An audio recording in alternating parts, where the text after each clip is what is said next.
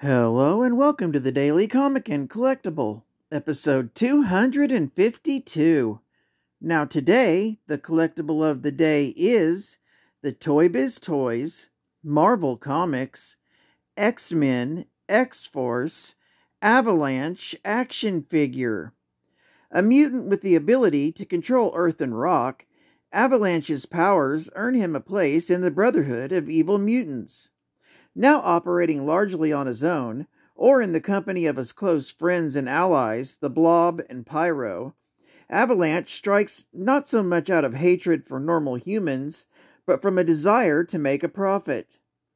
This vintage figure from the hit 1990s X Men animated series stands a full 5 inches in height and is part of the Marvel Comics toy line.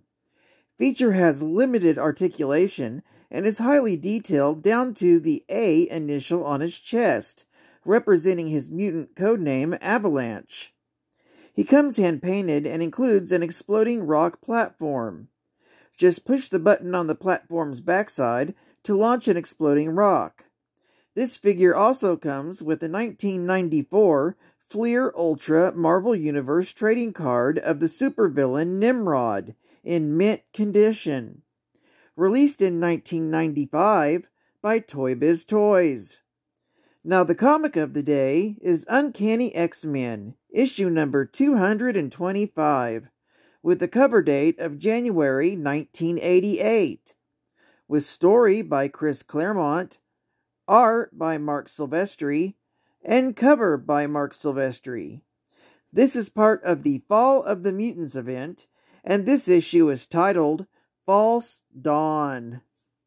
We open in Edinburgh, Scotland, where Colossus has mostly recovered from his injuries battling the Marauders, and has taken the time to come to the village where the X Men most recently fought the Juggernaut to relax and spend some time sketching. Peter draws a picture of his Colossus form, which impresses the children until one named Lewis makes fun of them, saying the X-Men are just muties, and that X-Factor are the real heroes. When a fight almost breaks out, Peter breaks it up and tells the children they should live peacefully. However, half their number are not sold after the damage done by the X-Men's battle previously that year. Meanwhile, in a place beyond the reaches of existence, the adversary appears in the court of the omniversal guardian Roma, who is trapped now that the adversary is free to do as he pleases. He gloats over how he has removed both Storm and Forge from the board, and thus ensured his victory, and that the universe will soon be destroyed by total chaos. Back in Scotland, among the ruins of the X-Men's battle with the Juggernaut, Colossus finds a wanted poster of the X Men put up by a group called the Human Rights League. When considering the sacrifices he himself made, he recalls the injuries he sustained protecting the Morlocks. Realizing he's still in his organic metal form, he tries to change back to flesh and blood, and despite his efforts, he finds that he's trapped in his alternate form. Deciding that he must fight to make the world a better place, he goes to a payphone and accidentally wrecks its booth while trying to squeeze in. He places a call to Xavier's school in the United States and asks to speak to his sister. Happy to hear from her brother, Illyana transports to his location. She tells him that she's glad to see him and that he's recovered, but can't stay long as new mutants are going on a mission, and asks how she can help. Peter tells his sister that he'd like to be reunited with his fellow X-Men, a request his sister is more than happy to comply with and teleports the two of them away.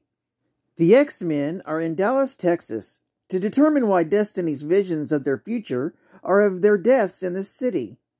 They first decide to check out Eagle Plaza, the former home of Forge, but unfortunately they set off a booby trap, causing the whole place to cave in. Rogue manages to pull her two teammates out of the room before debris can fall on them. Flying them back outside, Rogue flies directly into Stonewall and bounces back, and the X-Men soon find themselves up against Freedom Force. The Blob is quickly launched in the air by Avalanche, who was mentioned earlier, and he lands on the incapacitated Wolverine to take him out of the fight. Mystique orders the X-Men to stand down and to be taken into custody. However, Rogue refuses, even though Mystique warns her that staying in Dallas will mean her and the X Men's death. When Havoc calls Mystique on her support of the Mutant Registration Act, she defends it, but Alex isn't sold so easily by the woman who once led the Brotherhood of Evil Mutants. All this leads to a full out battle between the X Men and Freedom Force. In the ensuing chaos, Mystique asks Destiny for guidance. However, the elderly precog tosses off her mask, telling her longtime friend that she sees nothing but death for all those who remain there. Meanwhile, Psylocke is attempting to use her mental powers to force the blob to move. This doesn't work, and when Super Sabre attempts to take her down, she redirects him into Stonewall, causing him to bounce off his comrade and take out Avalanche. However, she's left open for attack by the Crimson Commando and is taken out with a single blow. The blob gloats. However, this is short lived, where the fat mutant is not so easily moved until Wolverine extracts his claws, poking him in the ass hard enough to make him leap into the air. As he begins to land, Colossus materializes and lands a powerful blow, sending the blob smashing into Eagle Plaza. Mystique attempts to trick the X Men into ceasing their battle by assuming the form of Storm, but Rogue sees through it and attempts to tackle her when they are both blasted by Spiral. The X Men regroup and Wolverine orders them into Eagle Plaza for cover. Destiny warns the Freedom Force to not let the X Men do this because it will spell doom for them all. However, they're too late, and as the X Men cross into the building, a giant rift in the fabric of existence opens in the sky, flooding downtown Dallas with light. As the Freedom Force wonder what this powerful light could be, Destiny tells them that this could be the beginning of the end for the entire world.